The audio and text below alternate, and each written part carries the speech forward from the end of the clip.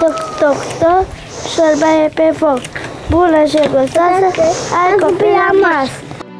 Ea este Mirela, o fetiță de 11 ani dintr-un sat din Bacău. Suferă de o boală genetică, iar la naștere avea doar 700 de grame, mai puțin decât o pâine.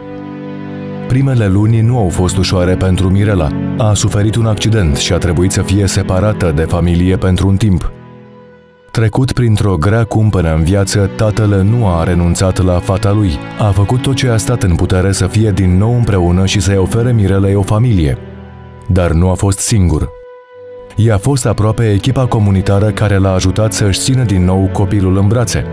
În cele din urmă, cu ajutorul primit, tatăl a reușit să o ia pe Mirela acasă și să-și refacă familia cu o nouă mamă pentru copiii lui. Acum sunt o familie cu cinci copii pe care părinții îi iubesc mult, fără să facă vreo diferență între ei.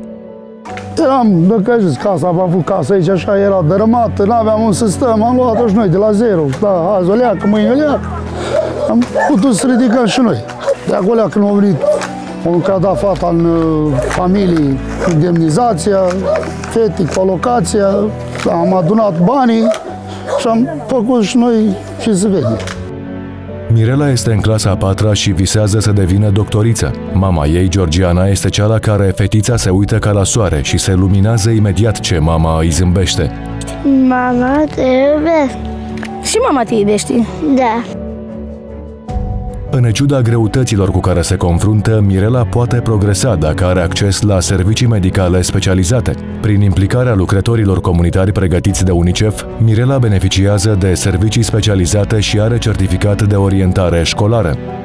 Prin uh, serviciile oferite uh, din partea echipei de GASPC Bacău, uh, servicii de logopedie, și consiliere psihologică din partea unui psiholog specializat. Fetița a făcut uh, recuperare și starea ei de sănătate s-a îmbunătățit, vorbește fluent acum, merge în fiecare marți la recuperare la Centru Daniel uh, împreună cu părinții. Progresele Mirelei și ale altor copii ca ea depind de serviciile medicale, sociale și educaționale la care au acces. Echipele comunitare locale formate dintr-un asistent social, asistent medical comunitar, consilier sau mediator școlar le oferă copiilor din familii vulnerabile accesul la serviciile de care au atâta nevoie. Dorința mea este bine.